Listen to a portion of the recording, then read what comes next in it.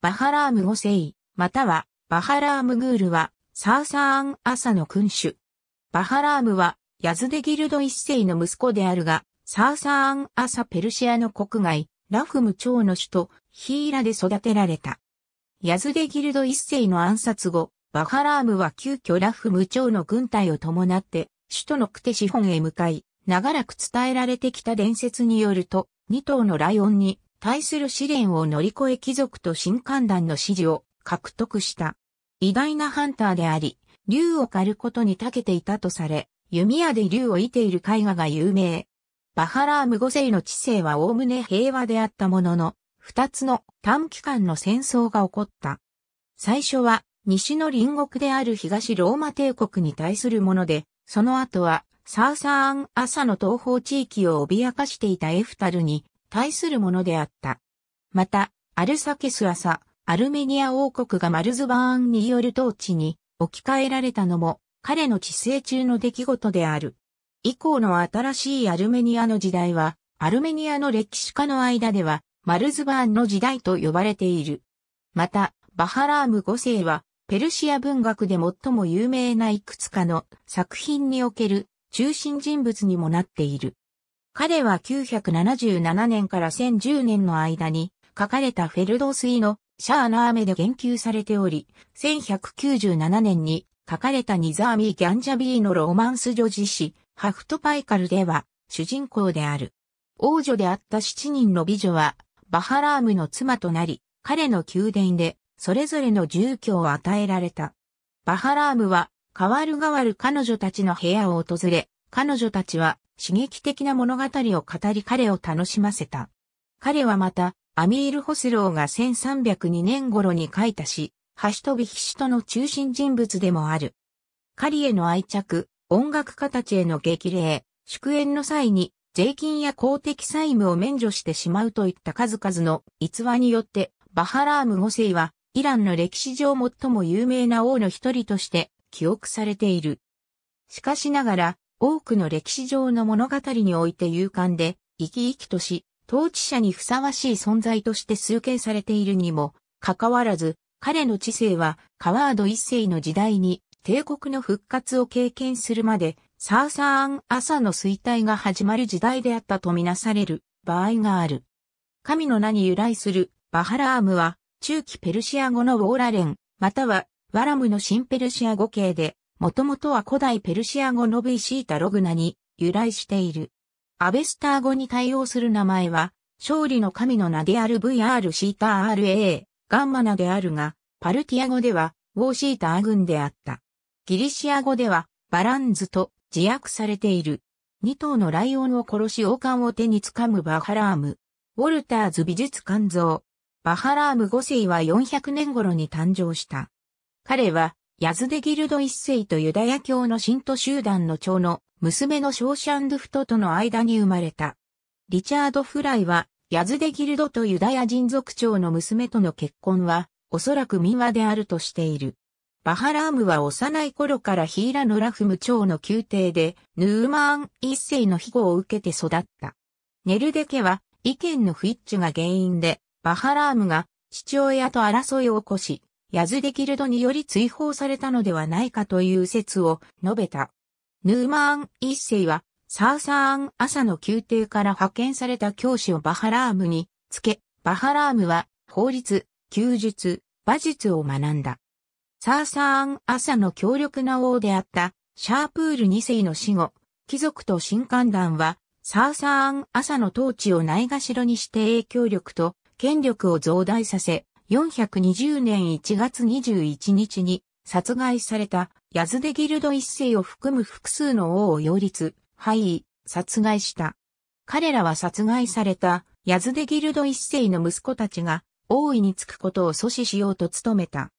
ヤズデギルド一世の長男でアルメニアを統治していたシャープールはすぐにサーサーン朝の取得手資本へ向かい、シャープール4世として王位についたものの、彼はすぐに貴族の手によって殺害されてしまい、バハラーム4世の息子であるホスローが王として擁立された。バハラームはアラビア砂漠に滞在中にヤズデギルド一世の死の知らせを受けた。彼は貴族たちの決定に反発し、ムンズイール一世に軍事的な支援を要請した。ムンズイール一世は支援に同意し、彼とバハラームは大軍を引き連れ、クテシフォンへ向かった。そして、そこでバハラームは、父のヤズデギルドのような統治は行わないことを貴族たちと約束した。シャーナーメによって伝えられている、よく知られた伝説によると、バハラームは、王冠と王の衣装を2頭のライオンの間に置き、この野生の動物を殺して取り戻した者が、ペルシアの王として認められるべきだと持ちかけた。ホスローは、この提案から手を引くことを選択したが、バハラームはこの試練を乗り越え王位を獲得した。バハラームは以前のサーサーン朝の王たちに対して信用を受けなかった貴族たちに不信感を抱いていたため、代わりにゾロアスター教の新官団から支援を得ることを選んだ。彼は貴族の手によってではなく、新官長の手によって即位した最初のサーサーン朝の王であった。東ローマ帝国とサーサーン朝の国境地帯、ゾロアスター教の新観覧の要請を受け、バハラーム5世は、キリスト教徒がゾロアスター教の寺院を攻撃したことに対する報復として、キリスト教徒への組織的な迫害を行うことから、統治を開始した。バハラーム5世は、多くの犠牲者を出す中で迫害を続け、この時の犠牲者の中には、ヤズデギルド一世の家臣であったヤコボス・インテルキスもいた。彼はキリスト教からゾロアスター教へ改宗したが、その後に再びキリスト教に改宗していた。迫害されたキリスト教徒は東ローマ帝国の領土に逃れ、コンスタンティノープル大主教のアッティコスから歓迎を受けるとともに、アッティコスは皇帝に迫害について報告した。当時、東ローマ皇帝テオドシウス2世は、宗教面で姉のアエリア・プルケリアから深い影響を受け、キリスト教に大きな関心を寄せるようになっていた。また、サーサーン・アサと東ローマ帝国の関係には、すでにいくつかの圧力となる要因が存在した。サーサーン・アサの人々は、ローマ人の金の採掘者を雇っていたが、今では送り返すことを拒否していた。さらに彼らはローマ人商人の財産の押収も行っていた。このため、サーサーン・朝の大使が亡命者の送還を求めて宮廷に到着した時、テオドシウスは亡命者を送還するのではなく、和平を破り戦線を布告することを選んだ。421年、東ローマ帝国はアルメニアに向けて大規模な文献隊と共に軍司令官のアルダブリウスを派遣した。アルダブリウスはサーサーン朝の指揮官ナルセを破り、アルザネネ地方の略奪を続け、西ビスを包囲した。しかしアルダブリウスは、バハラーム5世の指揮するペルシア軍の進軍を前にして、包囲を解き、その後に、バハラーム5世は、テオドシオポリスを包囲した。422年に、東ローマ帝国の行政長官ヘリオの交渉によって戦争を終結させる平和条約が締結され、すべてを戦争前の現状に戻すことで合意した。さらにサーサーン・アサと東ローマ帝国は他の地域のアラブ人の亡命者の受け入れを拒否することに同意し、双方の領土において信仰の自由を保障することにも同意した。シルクロードの地図バハラーム5世が東ローマ帝国との戦争に専念している間に東方で繁栄していた都市のメルブがエフタルによって占領された。このため、バハラーム5世は、サーサン朝領内への侵入を阻止するために、エフタルへ再兵を送ることを余儀なくされていた。バハラーム5世は、東ローマ帝国と和平を結ぶと、エフタルに反撃するための準備を始めた。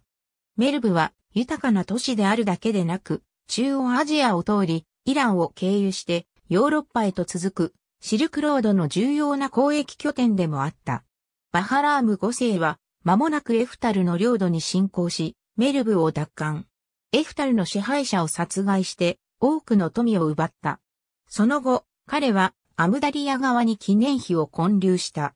これはアムダリア川がサーサン朝の東部の国境であることを示すものであった。427年までにサーサーンアサは東方領域を完全に確保し、ブハラの住民は模造したバハラーム5世の効果の鋳造を始めた。これは、バハラーム5世が都市を征服したか、強い影響力を残したことを示している。バハラーム5世は、中央アジアでのサーサーアン・アサの支配を確実なものとするために、兄弟のナルセを東部地方の総督に任命し、主婦をバルフに置いた。さらにアフラマズダーへの感謝を示すために、彼は戦利品の大部分をイランの三つの神聖な寺院の一つであるタフテ・ソレイマンに寄進した。サーサーン・アサ・アルメニアの地図バハラーム5世は東ローマ帝国との平和条約の締結後、すぐにアルメニアの問題について取り掛かることになった。バハラーム5世の兄であるシャープール4世が418年にアルメニアを去って以降、アルメニアは王が不在となっていた。バハラーム5世はアルサケス朝の血筋にあたる者がアルメニアの王位につくことを望んでいたため、彼はアルサケス朝のブラムシャプーの息子であるアルタクシアス4世を選んでアルメニアの王とした。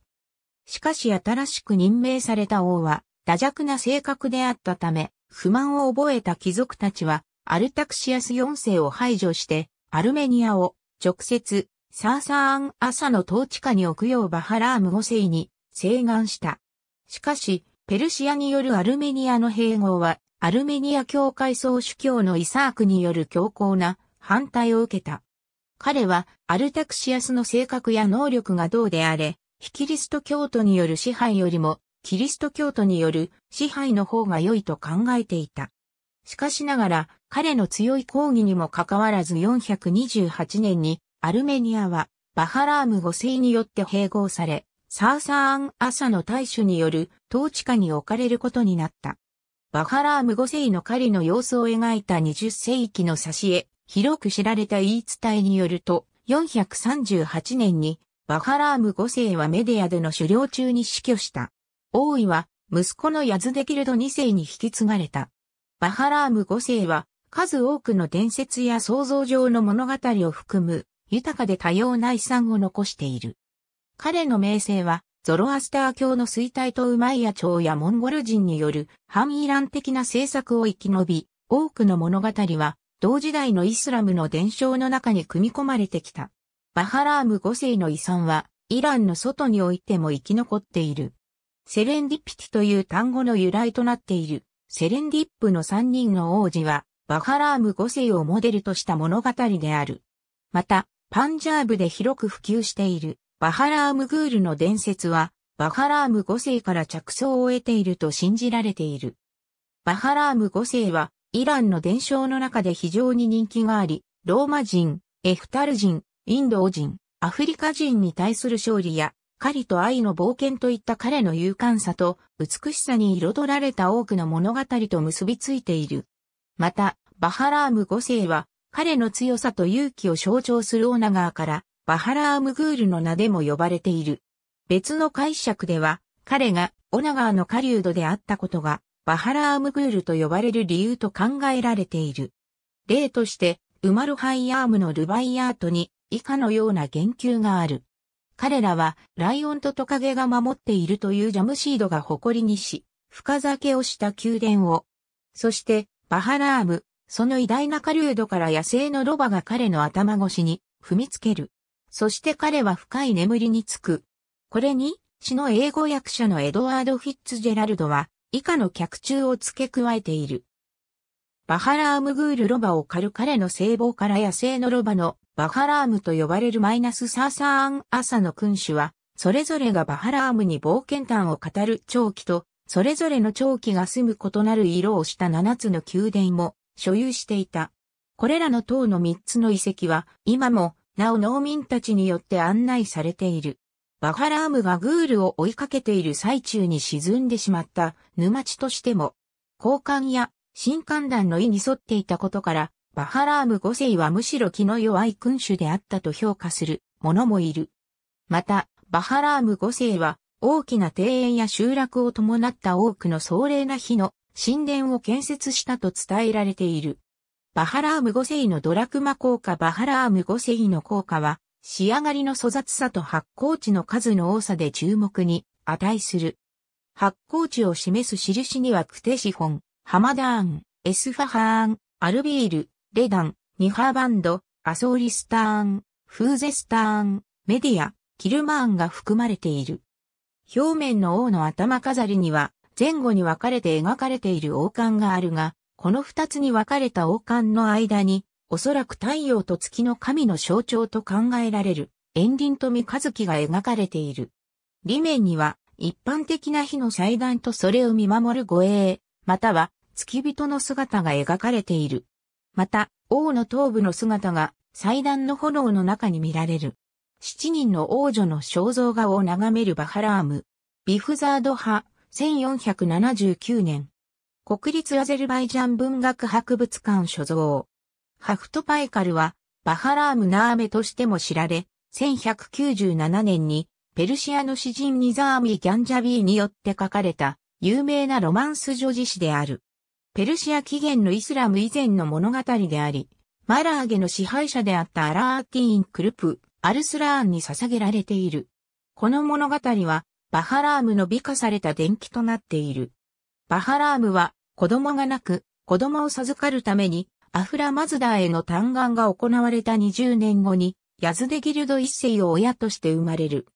彼の冒険的な人生は、シャーナーメで、フェルドースイーによって、すでに扱われており、このことについてニザーミーは何度もほのめかしている。一般的にニザーミーは、以前の詩人が扱ったエピソードを省略するか、非常に簡潔にそれらに触れた上で、新しい物語の題材に集中する方法をとっている。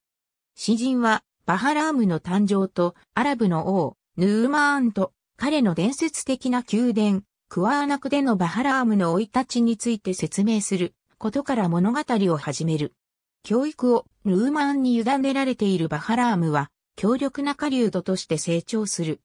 伝説の宮殿をさまよいながら、バハラームは七人の王女の肖像画が収められている、鍵のかかった部屋を発見する。ハフトパイカルの名はこれに由来している。それぞれの王女は七つの異なる地方の出身であり、バハラームは彼女たちに恋をする。父のヤズデキルド一世が亡くなると、バハラームは王の権利主張者たちから王位を要求するためにペルシアへ戻る。いくつかのエピソードの後、バハラームは王として認められ、飢饉からペルシアの人々を救う。国が安定するとバハラームは七人の王女を探し出し、花嫁として彼女たちを迎え入れる。バハラームの建築家は、新しい花嫁ごとに七つの宮殿を建設するように命じられる。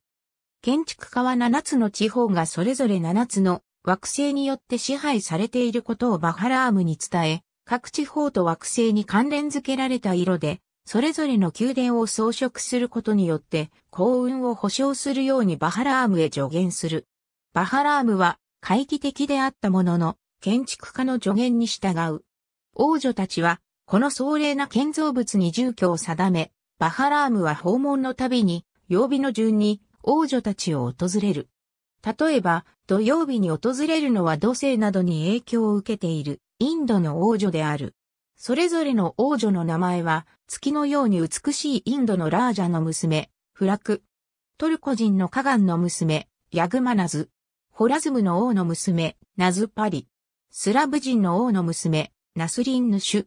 モロッコの王の娘、アザルビン。ローマ皇帝の娘、不明。そしてカイカウスケ出身の美しいペルシアの王女、ディロステである。それぞれの王女は各々の色の持つ雰囲気に一致する物語をバハラームへ語る。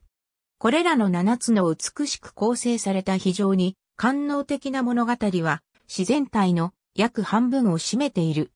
バハラームが七人の花嫁と多忙に過ごしている間、彼の邪悪な大臣が国の権力を掌握する。バハラームはペルシアの情勢が混乱し、国庫が底をつき、近隣の支配者の侵入を引き起こしていることに気づく。最初に彼は狩りに行くことによって心を清める。狩りから戻った後、彼は木から吊るされた犬に出会う。